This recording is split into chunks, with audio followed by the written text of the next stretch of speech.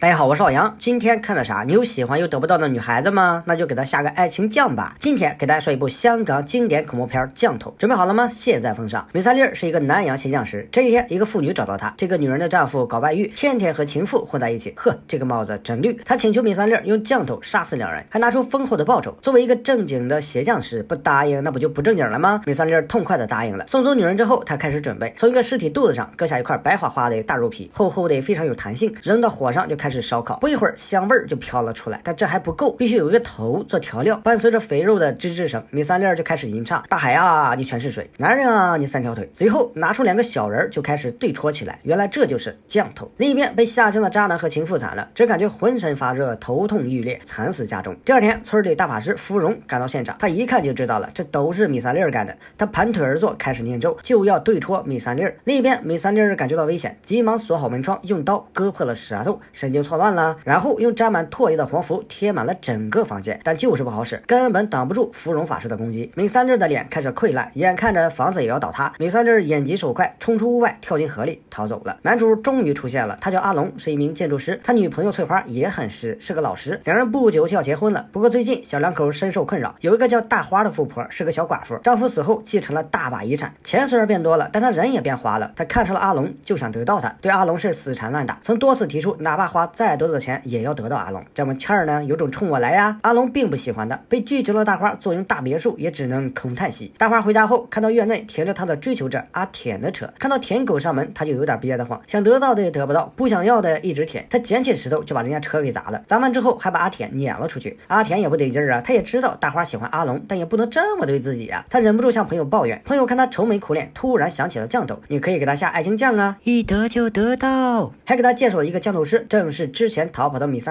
听说有爱情酱，阿田很快就出发了。烈日当空，晒得他是浑身冒油啊！看到半路有椰子，他问也不问，直接砸开就喝。然后一个老太太就出现了，朝他要钱。咋的？椰子是你家的？阿田向老太太问了问降头师的地址，但这老太太好像耳朵不好使，说了好几遍也没整明白。最后也不知明不明白，老太太伸手指了指前方。就这样，阿田顺着老太太指的方向就走了。阿田刚走，那老太太劈开椰子，里面竟然是满满的蛆虫。阿田走了不一会儿，就看到一个木头房子，趴窗户上就往里瞅啊。一个少女也不知中了。啥样？正在脱衣服。女子走后，米三粒也出现了。见到阿田就问：“小伙子，办什么业务啊？”阿田就说了：“老师傅，我想要得到一个女孩子。对于一个不正经的鞋匠师来说，那也太简单了。不过你要给我一个这么大的金子。”阿田想也没想就答应了。钱不钱都无所谓，主要是喜欢大花这个人。想要下爱情酱，就要拿到大花的头发和脚印。这一切进行的很顺利。第二天，阿田就把大花的头发和脚印交给了米三粒。米三粒问了问大花的名字和地址，就开始做法。首先是吟唱：“大海啊，全是水；美女啊，有张嘴。”然后就用带脚印的泥巴捏了个小人，交给了阿田，让阿田把小人挂在大花卧室外面，再将一杯灌你迷糊汤骗大花喝下，那就大功告成了。这不明明就是下药吗？阿田终于把大花得到了。第二天一早，那挂在卧室外的泥人竟主动掉了下来，咋的？还是一次性的呀？大花骤然惊醒，发现旁边躺着的竟然是舔狗阿田。渣男，你是不是给我下药了？看到满脸怒火的大花，还有虎视眈眈的恶犬，阿田瞬间怂了，就把爱情酱的事告诉了大花。没想到了解真相的大花非但不生气，还给了阿田一些钱，让他把那个降头老师傅给他介绍一下。阿田自然知道大花想干啥，不就是想给阿龙下爱情酱吗？他还是同意了。阿田又一次找到米三粒，你这个骗子，这降头咋还一次性的呢？一晚就失效。米三粒狡辩说，你又没说期限，除非你给我更多的钱。但阿田根本没钱，上次的钱他还想赖账呢。米三粒不高兴了，小伙子，你挺硬啊！记得第一次上山吗？你喝的那个椰子就是我给你下的降头，你想活命不？赶紧掏钱！阿田又怂了，你你你等着，我去搞钱。阿田走之后，米三粒想了想，导演都给他说了，大花马上就来找他，看这个憨憨也搞不来钱，那就直接把他搞死吧。马上拿出小人戳起来，刚出门的阿田就头痛欲裂呀，直接猝死。随后米三粒找到了富婆大花，沟通一番之后，原来是同道中人，一个花一个坛，两人开心的笑了，然后就说起了下降头的事。这一次是永久降头，需要三样东西：阿龙的头发、阿龙的血，最后就是大花的乳汁。但是大花又不是奶牛，怎么产奶呢？米三粒马上拿出一瓶灌你迷魂汤，放心，只要喝了它，三天之后你肯定有。大花还没喝呢，就迷糊了，想也没想，一干而尽。接着梅三粒又拿出了牙齿和手指，让他放在阿龙的床下。等腐烂生虫，爱情酱就开始了。这一天，阿龙回到家，竟看到大花躺在自己浴缸里。他对这老女人完全不感兴趣，他好奇的是这女人咋进来的。他想让大花离开，大花却不饶人，大声喊非礼。这个时候，阿龙女朋友翠花打来电话。就在阿龙接电话的时候，大花用吃奶的劲儿抓了阿龙一大把头发，又抬手抓伤了阿龙，头发和血都有了。大花又找机会把牙齿和手指扔到了阿龙床下。最后，他找到梅三粒，梅三粒带着大花来到一块坟地，二话不说就开始挖坟啊！不一会儿就挖出一具女尸，让大花用火烧女尸的下巴取尸油。那尸体好像也疼啊，还睁开了眼。尸油取好后，米三粒又让大花脱了衣裳，把尸油和乳汁混合，只差最后一步念咒。大海啊，全是水；大花呀，真是花。咒也念完了，爱情酱也完成了，只要让阿龙喝下，就能称心如意。另一边，阿龙结婚的日子到了，亲朋好友都来了，却迟迟不见阿龙。原来阿龙手下的手指已经腐烂生虫，床上的阿龙痛苦万分呀。朋友们赶到阿龙家里，不由分说，直接把阿龙拖到了结婚现场。呵，还真是猪队友。这个时候，大花也出现了，找阿龙敬酒，用混合爱情酱的酒骗阿龙喝下。酒喝完之后，阿龙就开始出现幻象了，眼前漂亮的翠花竟变成了一脸烂疮的女鬼儿，就连朋友们也变得极其可怕。阿龙怕极了，直接跑了。可就在看见大花的时候，那个本应该人老色衰的大花，却变成了桃花美颜，一汪春水。阿龙瞬间就被迷住了，两人说说笑笑的走入电梯，离开了婚礼现场。回家之后，两个人就过起了神仙般的日子。这一天，梅三儿来拿钱，他看着大花曼妙的身材，好像也有了那么一点不正经的想法。这几天，翠花一直来别墅找阿龙，看着大花就心烦。他多给了米三粒一些钱，让他把翠花解决掉。米三粒开始行动了，他先让恶犬抓伤了翠花，然后手拿膏药趁机出现。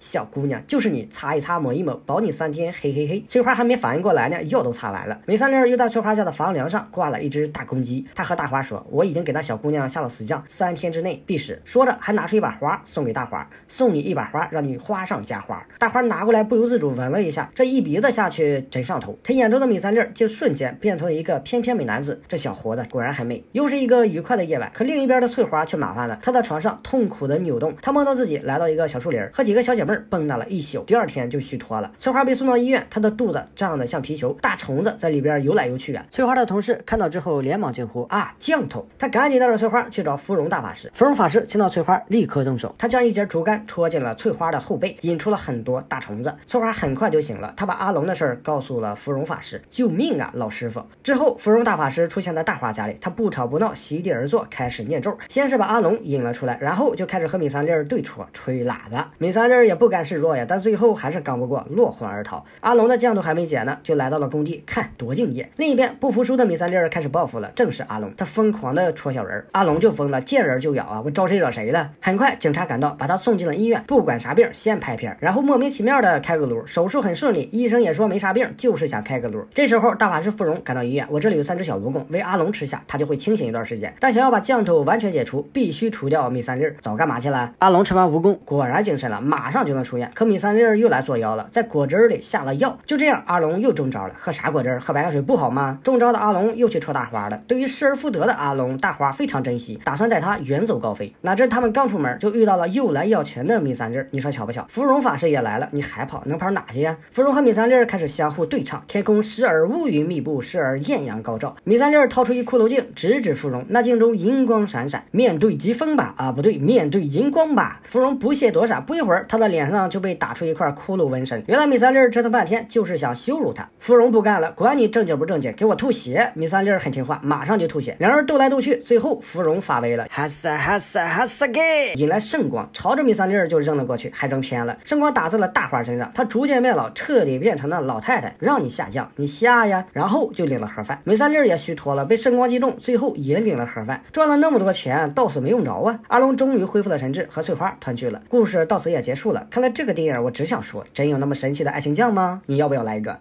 好了，我是老杨，我们下期再见。